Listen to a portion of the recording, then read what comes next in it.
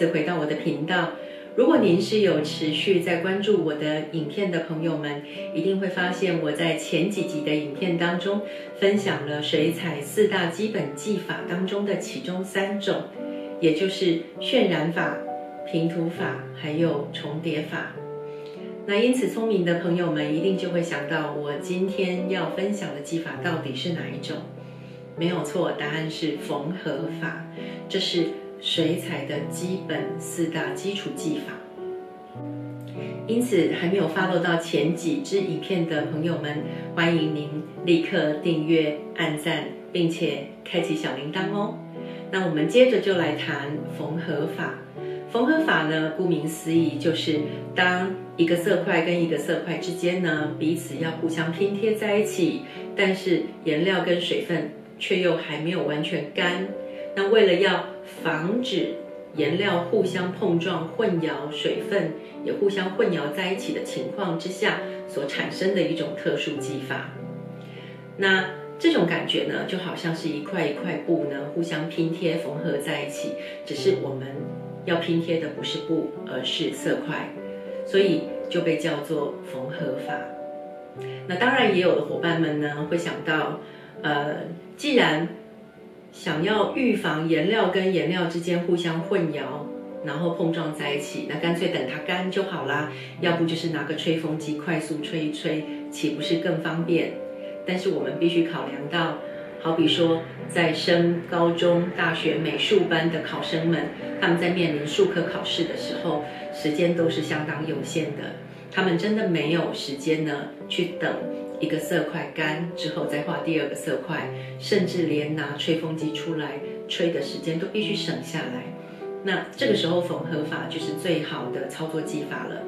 那另外呢，有另一种情况，就是也许伙伴们到户外去写生或是进行速写，但是光线非常的强烈，而且光影变化又过于快速的情况之下，也没有多余的时间等待。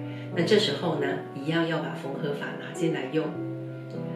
接着还有更多的人呢，他们喜欢营造细致、细腻、精致的画面，那更适合把缝合法用进来喽。那缝合法呢，在操作上到底是什么样子的一个情况呢？不啰嗦，就来看一下今天的示范影片吧。示范影片开始之前呢，我们先针对今天会用到的工具做一个简单的介绍。好，这两本大陆生产的莱顿水彩写生本呢，从外观上来看，其实是非常高雅的。接着呢，我们从封面页上也可以清楚的看到标示，每一本水彩本呢都有二十张水彩纸，并且是百分之百纯棉，三百克，粗纹，中性，无酸。再来，旁边这个是它每一张水彩纸的尺寸。好。我们再翻到背面来看一下，这边呢也同样清楚标示着水彩纸本身是 rough 粗纹，acid free 中性无酸。再来底下是它的尺寸，还有纸张双面都有粗的纹路肌理，并且不含防腐剂。这算是标示相当清楚的水彩本。那接着我们就来打开看看里面长什么样子。里面呢，第一张是黑色的保护页，那侧面呢都可以看到上好上满的胶，也就是标准的四面封胶的水彩本。那整个看起来硬邦邦的，像一个画板。虽说是四面封胶呢，不过它在正上方呢还是留了一个小小的开口。这个小小的开口呢，我们可以清楚的看到水彩本的张数。那通常呢，我们都是每画好一张。再取一张下来，我们会运用它四面封胶的这个优点呢，让我们在画的过程当中，纸张呢它不会因为碰到水而有任何凹凸不平的机会哟。那一般来说呢，呃，大陆淘宝有一些店家会很贴心送类似像这样子拆信刀的小物，让我们方便把纸张取下来。那取的时候呢，则是从其中正上方的缝隙伸进去。接着往四个边呢，轻轻的画一圈，如此一来呢，就可以很轻易的把水彩纸取下来了。好，拿掉第一张保护页之后呢，我们透过画面正式来观察一下这一款莱顿水彩纸，它表面的纹理，果然真的就是粗纹水彩纸会有的特色。那我相信呢，待会儿在正式示范的时候，它也会有很好的表现力才是。补充说明的是，如果我们身边没有类似像这样子的小物怎么办呢？我们可以用随手可得的这种会员卡，当然必须是要那种不重要的卡。那用这样子的东西呢，也可以达到同样的效果哦。好，那接着我们今天的示范用笔呢，是爱丁堡绑线仿雕水彩笔，我们用的是一号、二号跟四号笔。透过画面，我们也看到了这三支笔呢，分别是一百八、两百二、两百七十元台币。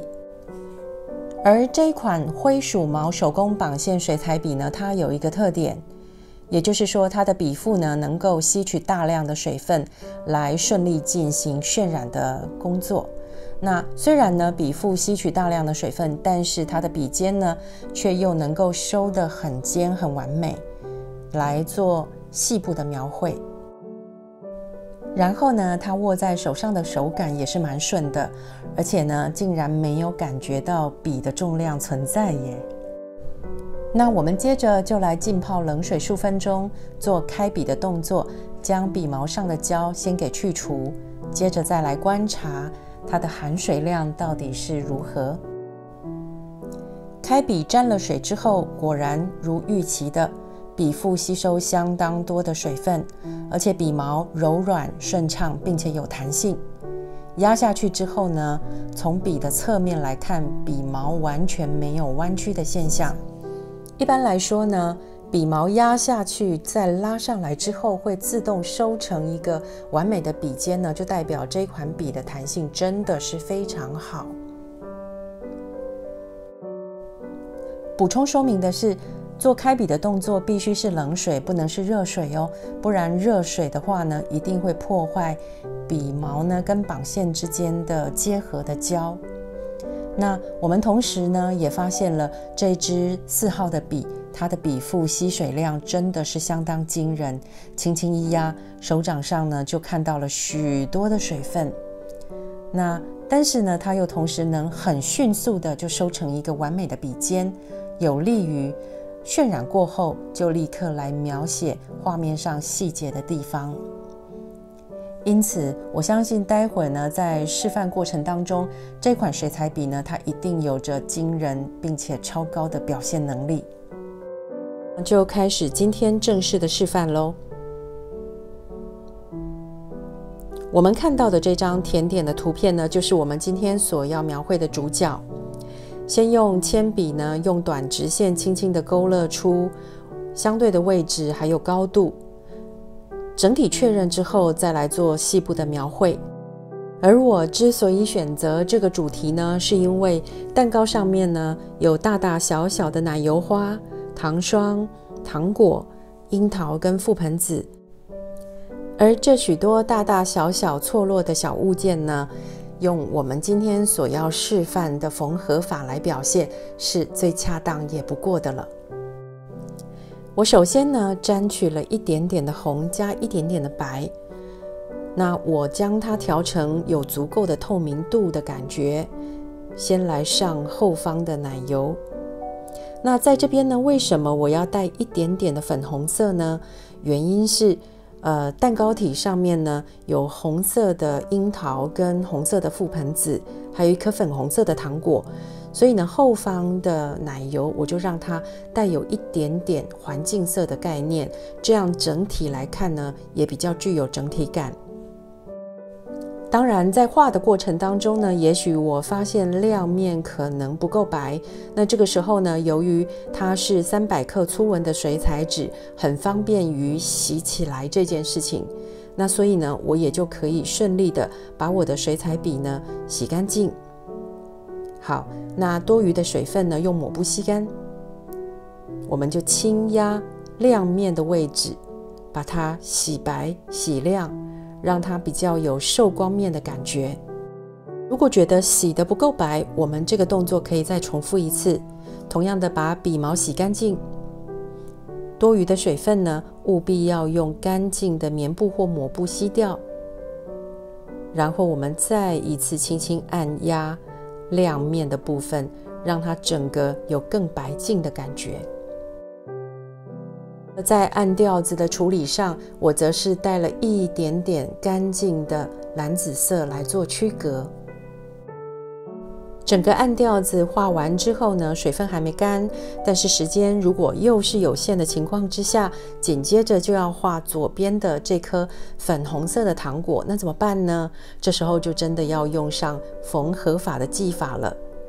那我们可以近距离的透过画面来看一下，也就是在这两者之间呢，留下一条细细的白缝。那这条白缝呢，越细越好。因为越细的话呢，就代表画面呢处理上是给人家越精致的感觉。那当然，后续等到完成之后，水分也干了，这一条白缝需不需要再补上呢？答案是不用的。紧接着，我用相同的做法，也就是缝合法，把前方两个奶油花呢分别着色完成。当然，其中一个。我让它偏稍微淡淡的干净的蓝色，是为了要跟其他的奶油花呢做出区隔。过程中如果失败了怎么办？好比说不小心碰到了，像这样子颜料突然就宣泄而出，那这时候该用什么方法补救呢？答案是把笔洗干净，笔毛上多余的水吸干，把宣泄而出跑出来的颜料洗掉。那重复洗很多次，并且把这个区域的水分整个吸干之后，我们还要再进行第二个步骤。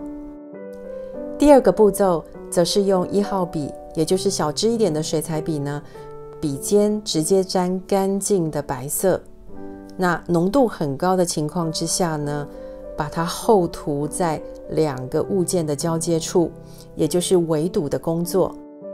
我们透过画面近距离的看一下，就像这样子，笔尖沾了足够浓度的白色颜料，然后呢，把它涂在刚刚两个物件的交接处，让右方红色覆盆子的颜料就不会再跑过来，而成功的被围堵住了。我们就用相同的技法，将蛋糕上面呢所有的小物件逐一上色完成。针对蛋糕体呢，我们先用四号笔刷一层水，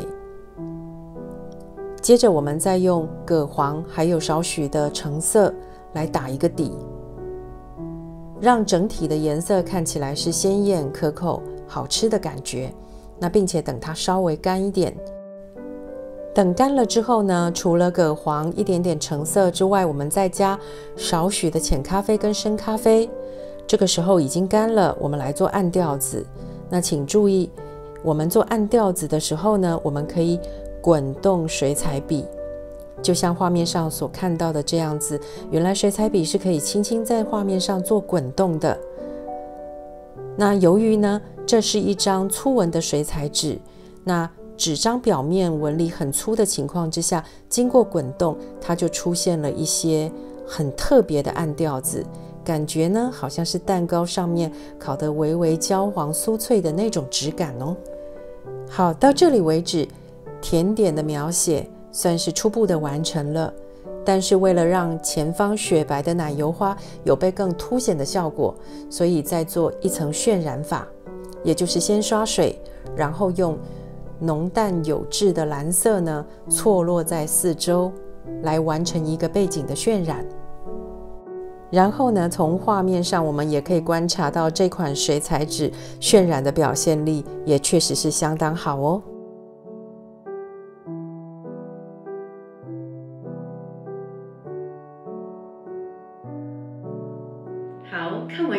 示范影片之后，您是否也觉得缝合法并没有想象中的困难呢？